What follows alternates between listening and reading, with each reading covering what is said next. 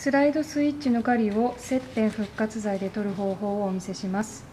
まずご用意していただくものは接点復活剤。それから用紙のようなこのような先端尖ったもの。それから、えー、ペーパーを用意してください。まずペーパーでサイドを保護します。ポイントはフェイスを上にしてください。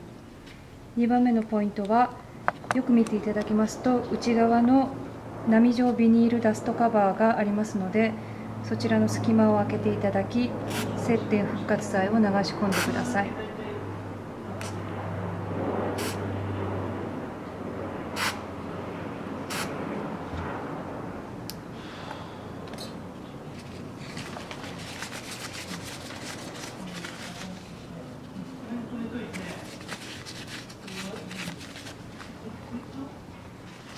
以上です。